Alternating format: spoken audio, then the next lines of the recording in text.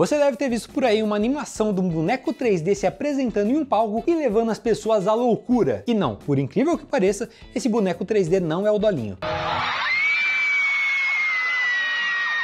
Muitas pessoas viram esse vídeo e ficaram em dúvida de que porcaria é essa? Então calma que hoje eu vou explicar a origem desse meme para vocês. E antes de tudo, a gente precisa conhecer o conceito de VTubers. Você sabe o que é um VTuber? Você fala igualzinho meu pai. Não, essa é a VTube. VTuber é praticamente um YouTuber, só que virtual, ou seja, VTuber. Eles já existiam faz muito tempo e fazem muito sucesso. E o que viralizou recentemente foi um VTuber tailandês, o VTuber da Capo, que faz parte de uma agência de VTubers tailandeses e aparentemente esse da Capo é o mais famoso deles. E em junho de 2023, o Centro Cultural de Eventos da Tailândia fez um evento de cosplayers. E nesse evento teriam várias apresentações. E claro, nós tivemos a apresentação do Da Capo cantando a música Shinonoga Ewa do Fuji Kaze.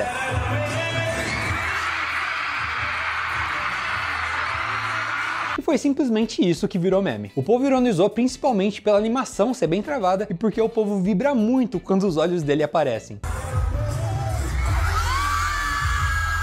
E claro, também viralizou porque começaram a falar que as pessoas pagaram 300 dólares para ver esse VTuber. Mas logicamente as coisas não são bem assim. De fato eram 300 dólares, porém 300 dólares tailandeses. Convertendo daria 9 dólares americanos, que convertendo pro real daria tipo uns mil reais. E esse valor era o valor do evento e não do show específico. Então não, as pessoas não pagaram 300 dólares para ver esse VTuber. Apesar de que eu não duvido que alguém realmente pagaria 300 dólares para ver. Eu mesmo pagaria 300 dólares para ver o meu VTuber 3D favorito cantando, o Dolinho.